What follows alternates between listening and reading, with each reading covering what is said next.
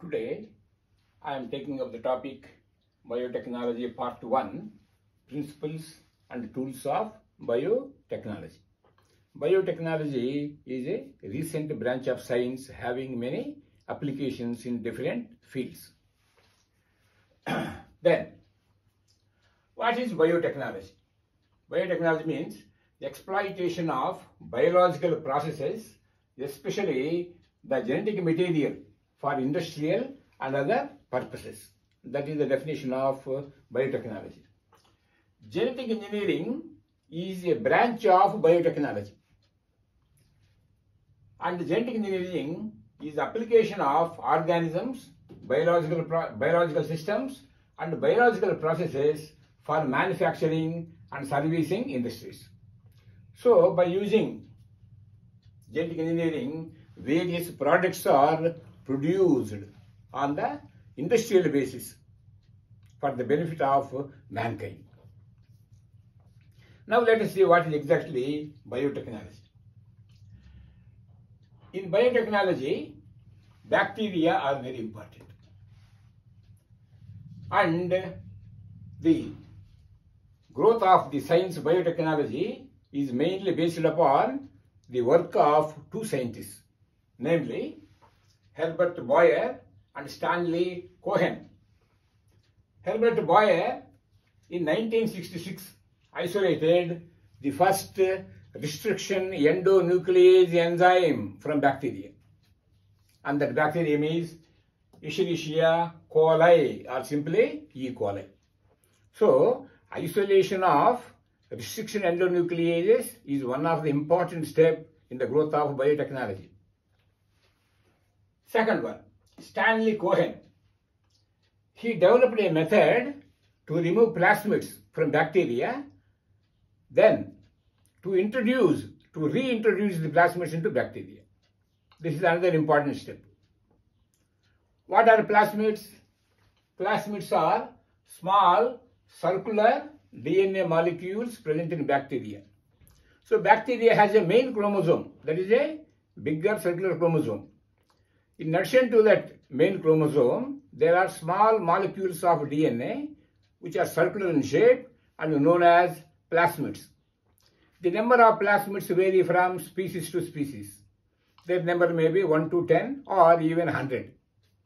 The plasmids multiply independently from that of main chromosome. So the multiplication of or replication of plasmids or plasmid DNA doesn't depend on the main chromosome. Then, in the year 1972, Boyer and Cohen, they combined plasmid with foreign DNA and introduced that plasmid to a bacterial cell. This is one of the important step in the field of biotechnology. Now, let us see what is happening now through the field of biotechnology. Now, bacteria are converted into factories to produce a number of proteins, enzymes, hormones, etc. useful to mankind and also to the industries. The first bio biotechnological product produced was insulin. Previously, the diabetic patients were receiving insulin collected from the pancreas of cattle and pigs. The insulin of cattle and pigs slightly differs from that of human insulin. So in course of time what happened, human beings started developing resistance against the bovine insulin or uh, porcine insulin. Bovine insulin means insulin collected from the cattle. Porcine insulin means insulin collected from the pigs. So for the first time in the year 1972, 1982, a company known as Eli Lilly started producing human insulin and started marketing it as Humulin. Humulin is the exact human insulin produced through biotechnological processes. So insulin is the first biotechnological product and every day millions of Indians are using insulin to treat their diabetes and it is 100% safe. Then recombinant DNA technology. So biotechnology includes a process known as recombinant DNA technology. In this case, what happens is a foreign DNA or a foreign gene that is to be cloned is incorporated into a plasmid or into a vehicle. That vehicle is known as a vector. Initially, the plasmids present in the bacteria were used as vehicles of cloning. But nowadays, a variety of cloning vehicles are available. Some are natural, some are artificial. Now, let us see what is the meaning of some of the terms associated with biotechnology. So already I have told you about recombinant DNA. Recombinant DNA means combining foreign DNA with that of the vector's DNA. Cloning. Cloning means making multiple copies of DNA. Vector. Vector is the vehicle used to insert the recombinant DNA into the body of the host for multiplication. Then, now let us see some of the points about the restriction endonucleases and vectors. Nucleases are a type of enzymes that cut DNA or that break DNA into small pieces. The nuclease enzymes are two types, exonucleases and endonucleases. Exonucleases cut DNA from one end of the molecule. For example, let's say this is the DNA molecule. Exonucleases cut the DNA molecule from one end, from this end or from this end like this. Endonucleases make a cut inside the DNA, not at the end, but inside the DNA. The endonucleases are many types. Among them, one type is known as restriction endonuclease. Restriction endonucleases are very specific in their action. In DNA, we find some sites where we come across the palindrome sequence. What is the palindrome sequence? Palindrome sequence is the one in which the letters read the same either in forward direction or in backward direction. You take the letter Malayalam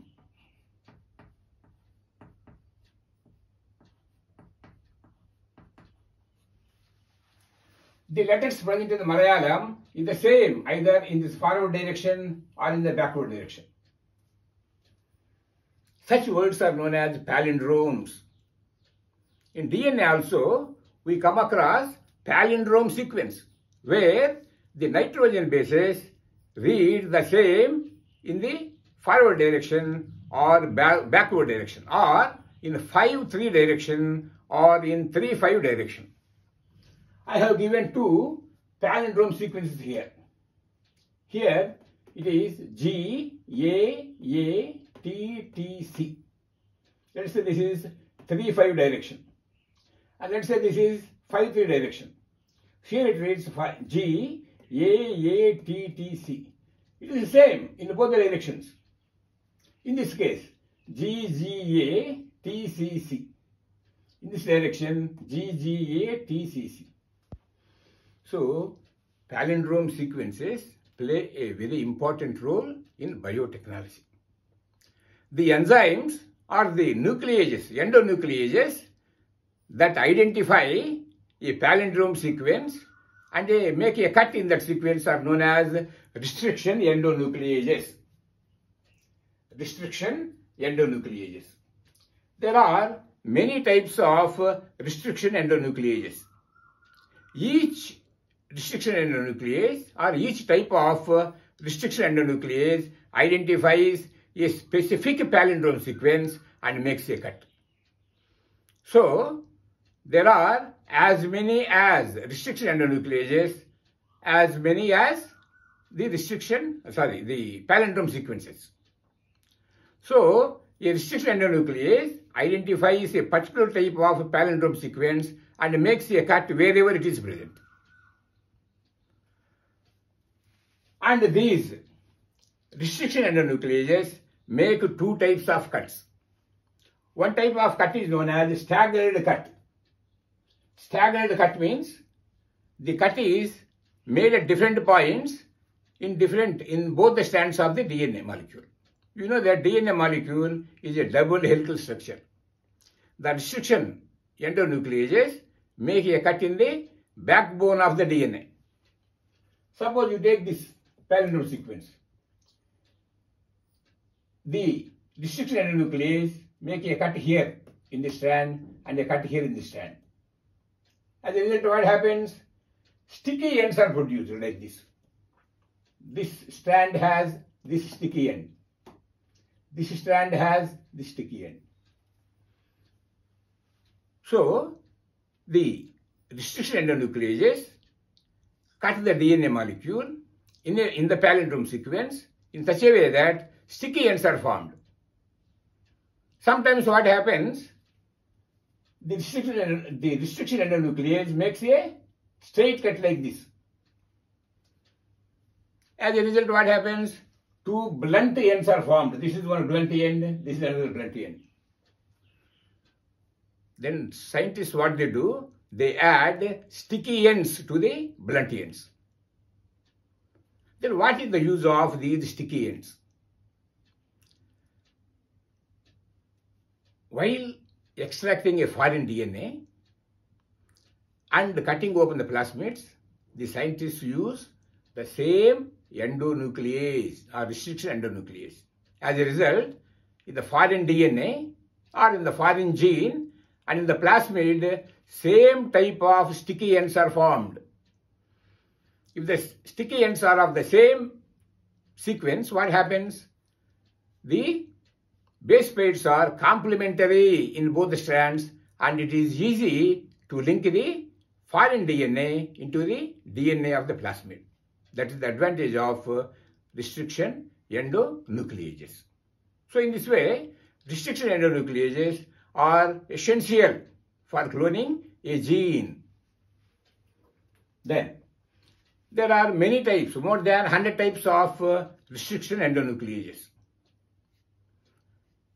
Then, coming to the vectors.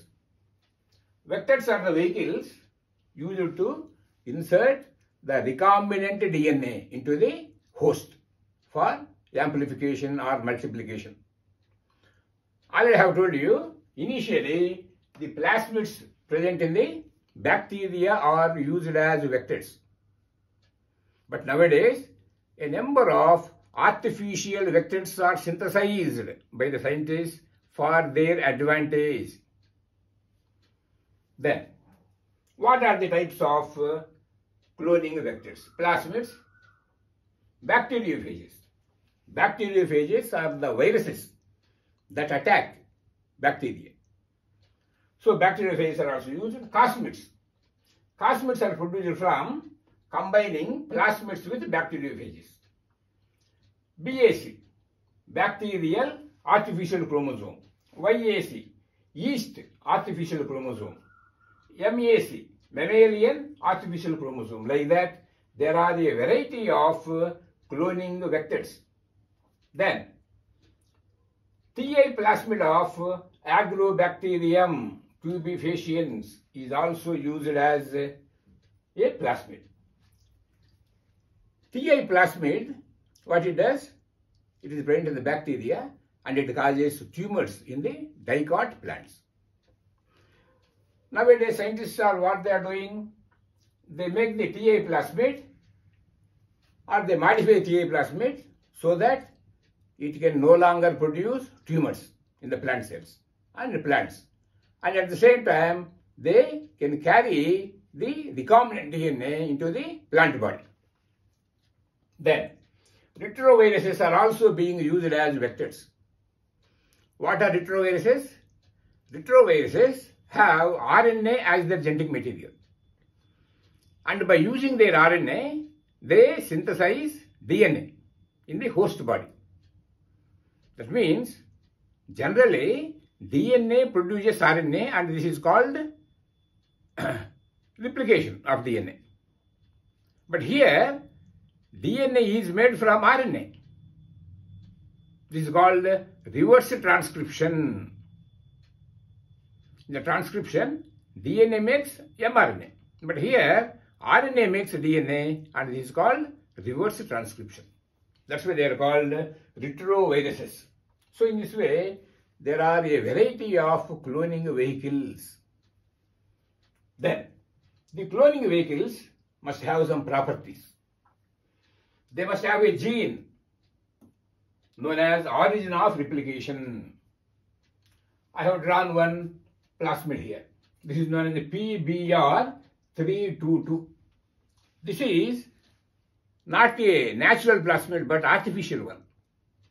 It is synthesized by two scientists, namely Bolivar and Rodriguez. So it is named after them. P means plasmid, B means Bolivar, R means Rodriguez. 322 is the number given to this plasmid. This plasmid is an artificial one and has many advantages. So it is extensively used in biotechnological processes. It has the gene ORI, ORI means origin. Always the replication or multiplication of DNA begins from this gene, gene of origin of replication. So a plasmid must have a gene for origin of replication. Then the plasmids have antibiotic resistant genes. This is very, very important. Bacteria resist the action of antibiotics produced by fungi. You know, fungi produce various types of antibiotics. And these antibiotics kill bacteria. So to protect from the action of fungi, the bacteria have genes and these genes are known as antibiotic resistant genes.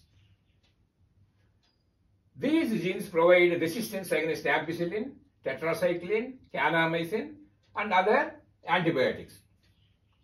These antibiotic resistant genes are known as selectable markers or recognition sites. This is very important. In the PBR 322, there are two antibiotic resistant genes. These are AMPR means ampicillin resistant gene. This is tetracycline resistant gene. These genes are known as marker genes or selectable markers or recognition sites. If we introduce a foreign DNA into the tetracycline resistant gene, what happens? The bacterium loses resistance against tetracycline and it will be killed when it is grown on a medium containing the antibiotic tetracycline. Similarly, if the foreign DNA is introduced into ampicillin resistant gene, what happens? The bacterium can no longer produce ampicillin and it cannot survive on a medium containing the antibiotic ampicillin. In this way, we can know whether the experiment is successful or not. If we successfully introduce the foreign DNA into this gene or into this gene, they lose their protective property. That's why they are called as marker genes or recognition sites.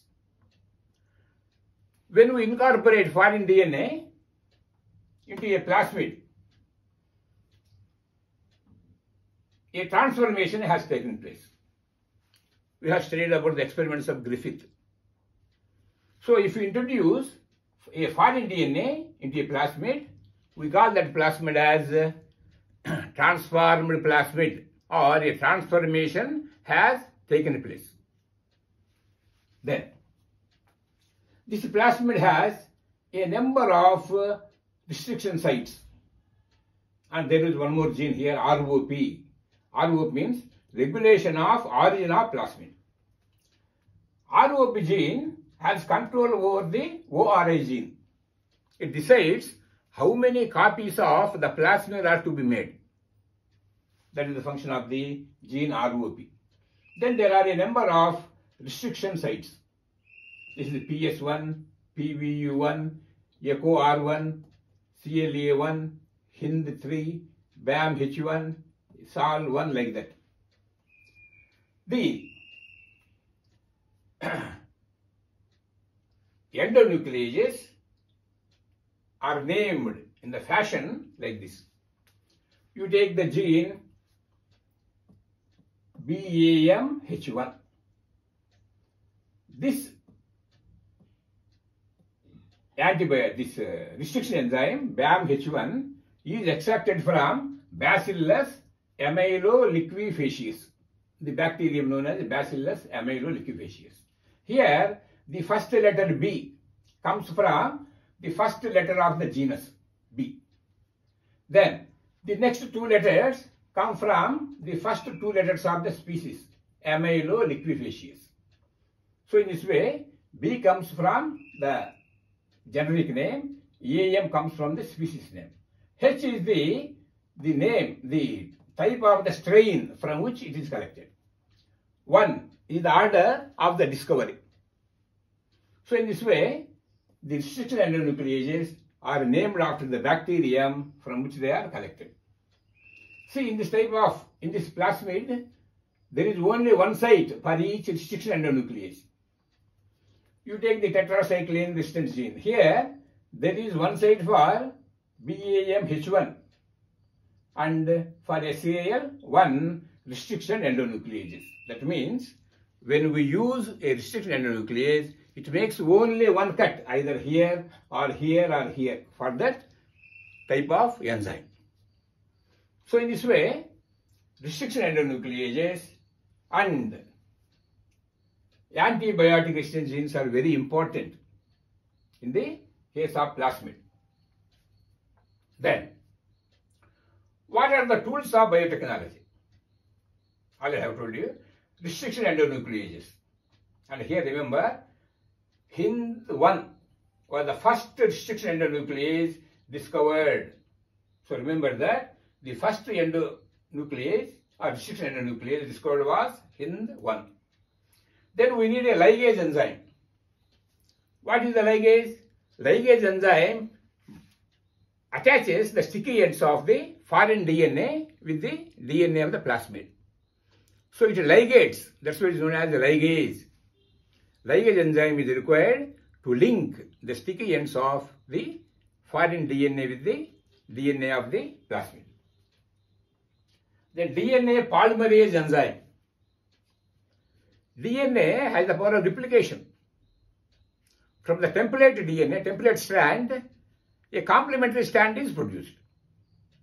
The complementary strand is produced by assembling the complementary nitrogen bases.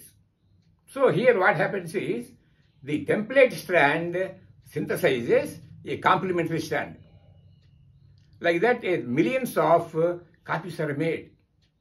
For producing the complementary strand, the enzyme DNA polymerase is required. Remember, in the case of E. coli, a plasmid divides every half an hour. At this rate, in 24 hours, E. coli bacterium can produce billions of copies of the same plasmid. Then, cloning vectors. I have told you, cloning vectors are used to carry the foreign DNA into the body of the host for amplification or for multiplication. I have told you there are a variety of uh, cloning vehicles and PBR322 is one artificial cloning vehicle. Then, insertional inactivation, this word you must remember. If we introduce a foreign gene into the tetracycline resistant gene, what happens? The bacteria is no longer resistant against tetracycline antibiotic. That means tetracycline can easily kill that bacterium. If this gene is active, tetracycline has no effect on this bacterium. So in, a, in the biotechnological process, let us say we have introduced a foreign gene into a plasmid or we have attempted to introduce a foreign gene into a plasmid. How to know whether that foreign DNA is incorporated to the plasmid or not? If it is incorporated, we call it as uh, insertion successful. If it is not incorporated, we can say insertion is a failure. If the insertion is successful, we call it as a recombinant DNA. Now let us see if we if we introduce successfully the foreign DNA into the tetracycline gene, what happens? The tetracycline gene is disrupted and it is unable to provide any resistance against tetracycline. That means that gene is inactivated. This is known as insertional inactivation because because of the insertion of the foreign gene, this gene is inactivated. So this term insertional inactivation means inactivation of a particular gene by the introduction of or the incorporation of another foreign gene. If suppose we have successfully introduced a foreign DNA into this gene, then what happens?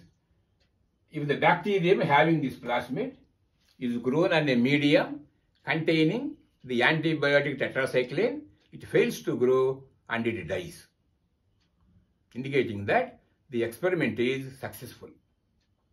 But it is a very complicated process. So scientists have developed a simple method to identify whether a foreign DNA is actually incorporated into the plasmid DNA or not. Further, they are using the enzyme galactosidase or the gene that is responsible for the production of the enzyme beta galactosidase. We have studied about the beta galactosidase during the topic lac operon theory. So, beta galactosidase enzyme helps in splitting the lactose into glucose and galactose. And the beta galactose, beta galactosidase has another purpose. It can turn a chromogen into blue color. So, sometimes of uh, substances are turned into a color. So, here what happens is beta galactosidase turns a particular type of chromogen into blue color. Suppose in this gene, in this plasmid, there is a gene for beta galactosidase. Let us say this is the gene for beta galactosidase. Enzyme. Enzyme secretion. If foreign DNA is incorporated here, what happens? The beta galactosidase uh, gene is disrupted and it can no longer produce the enzyme beta galactosidase. If such plasmids are, bacteria are placed on a medium containing a chromogen substance, the bacteria cannot turn that chromogen into blue color. So failure to produce blue color indicates that the experiment is successful and recombinant DNA is produced. So to identify the recombinant DNA, nowadays scientists are using beta galactosidase. Then there are some more points. Competent host, competent host. Then foreign DNA is, in, is incorporated into a plasmid, let us say into this plasmid. Then this plasmid has to be reintroduced into the bacterium. How it is done? There is a procedure. You know that bacteria are covered by a plasma membrane and outside the plasma membrane there is a cell wall. Cell wall is porous. Normally, through porous cell wall, the plasmids cannot enter the bacteria. So to make the plasmids to pass through the porous cellulose, uh, porous cell wall, scientists use calcium ions. So if calcium ions are used or added to the medium, what happens?